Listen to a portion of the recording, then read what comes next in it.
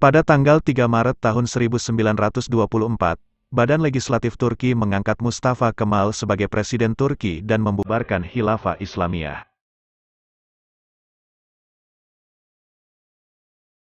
Mustafa Kemal Ataturk bertindak radikal guna menghancurkan peradaban Islam. Mustafa, sebagai Presiden Republik Turki yang sekuler, bertindak diktator dalam menjalankan pemerintahan. Ia menetapkan ideologi negara menganut paham sekularisme. Atas dasar ideologi negara ini, dia mengumumkan akan mengambil langkah-langkah kebijaksanaan untuk mencapai cita-citanya demi kepentingan negara Turki sekuler.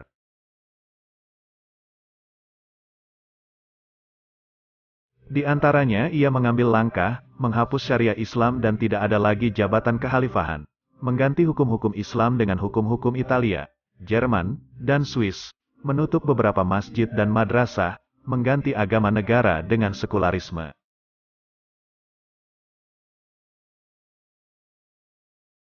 Mengubah azan ke dalam bahasa Turki, melarang pendidikan agama di sekolah umum, melarang kerudung bagi kaum wanita dan pendidikan terpisah, mengganti naskah-naskah bahasa Arab dengan bahasa Roma, pengenalan pada kode hukum barat, pakaian, kalender, serta alfabet, mengganti seluruh huruf Arab dengan huruf Latin.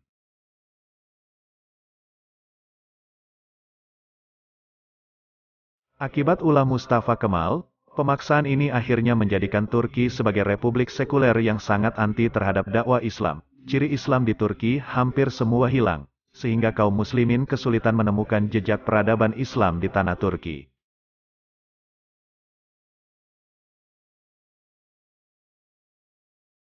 Sesaat berkuasa, Kemal Ataturk pernah menggantung 30 ulama. Ia mengatakan, Ketahuilah, saya dapat membuat negara Turki menjadi negara demokrasi bila saya dapat hidup 15 tahun lagi.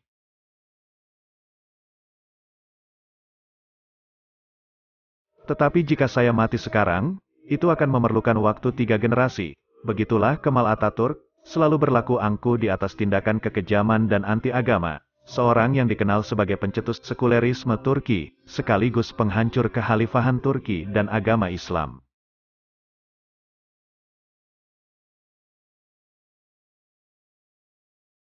Sekiranya Kamal Ataturk ini lahir di zaman adanya Rasul pada saat ketika wahyu masih turun, bisa jadi namanya akan diabadikan seperti Fir'aun, Namrud dan Abu Lahab.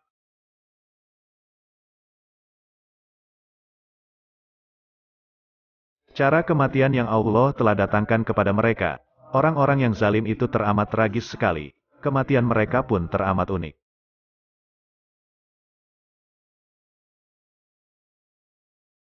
Namrud, mati karena sakit kepala akibat dimasuki oleh seekor nyamuk melalui telinganya. Setiap kali ia menjerit, dokter pribadinya memerintahkan dipukul kepalanya untuk mengurangi kesakitannya.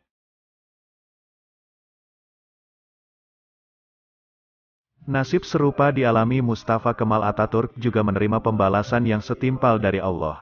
Menurut beberapa buku sejarah, kematian Kemal dikarenakan akibat overdosis minuman keras, ditambah lagi dengan berbagai penyakit seperti penyakit kelamin, malaria, sakit ginjal, dan lever.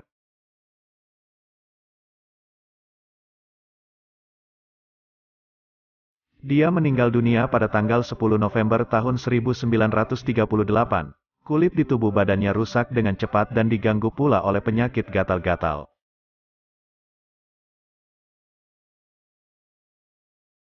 Dokter sudah memberi bermacam-macam salep untuk diusap pada kakinya yang sudah banyak luka-luka karena tergaruk oleh kukunya. Walaupun begitu dia masih sangat angkuh di akhir-akhir hayatnya yaitu ketika menderita sakratul maut.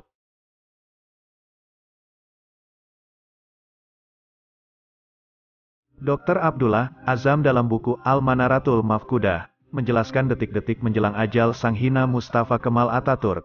Menurutnya, sebuah cairan berkumpul di perutnya secara kronis.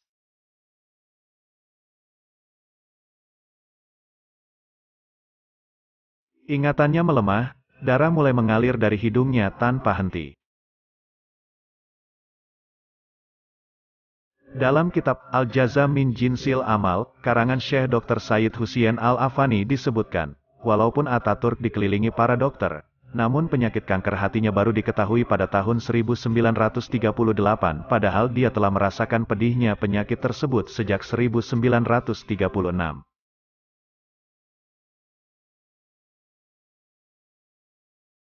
Pada Kamis tanggal 10 Oktober tahun 1938, Kemal Ataturk terlempar ke sampah sejarah setelah ia mengalami sakaratul maut sebulan lamanya yang tidak ada satupun dari pembantu dan para dokternya yang berani mendekati dia ketika itu.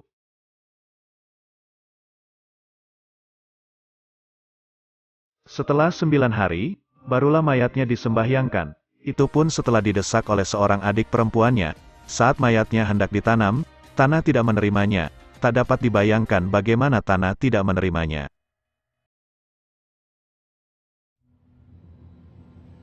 Karena putus asa, mayatnya diawetkan sekali lagi dan dimasukkan ke dalam museum yang diberi nama etnografi selama 15 tahun sampai tahun 1953.